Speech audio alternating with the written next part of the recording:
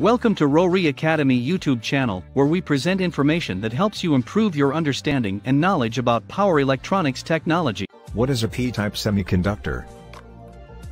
In a semiconductor crystal, each tetravalent atom creates a covalent bond with four neighboring atoms.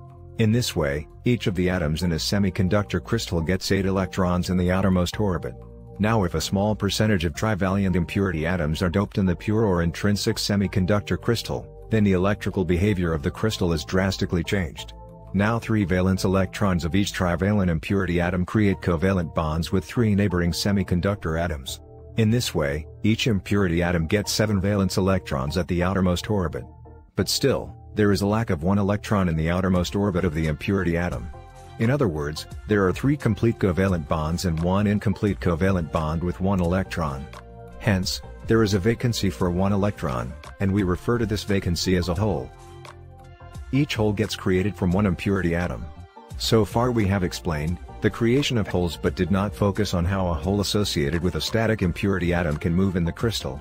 But in a semiconductor crystal holes can also move like electrons but the mechanism of movement is different. When one hole that is one incomplete covalent bond is created, it will not remain incomplete lifelong.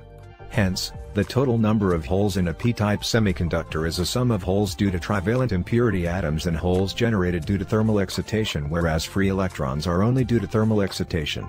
Hence, the number of free electrons in a p-type semiconductor is much smaller than the number of holes in it.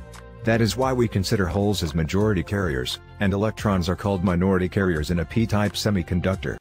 Thank you for watching and kindly subscribe to this channel for your weekly videos.